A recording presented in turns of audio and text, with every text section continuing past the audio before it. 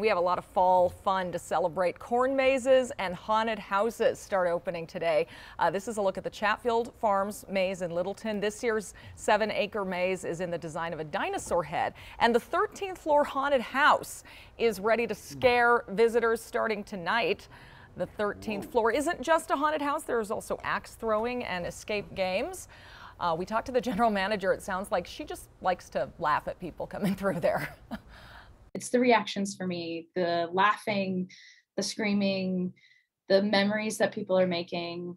It's it we embody all sense so we even throw in smells um, that are going to drop you into our scene.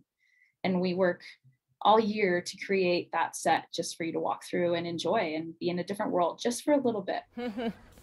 Uh, if you've been to the 13th floor in the past uh, we're told there are some new things this year uh, you can buy tickets online. They're also still hiring. Hmm.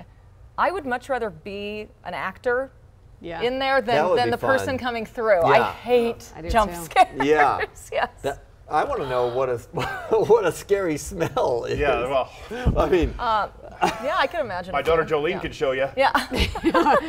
Jason could show you. yeah. You're throwing your Too daughter close. under the yeah. bus. Yes. Oh man, no, she's she's bad. I uh, I I peed my pants once in one of these. Did yeah. you? Yeah. That's scary. And last time or I would from go laughter. in. From no, scares or from, laughs? from I thought you were yeah. talking about the smells still, too. Well, I mean, yeah, there's that. That may be one of the, the scents. Yeah.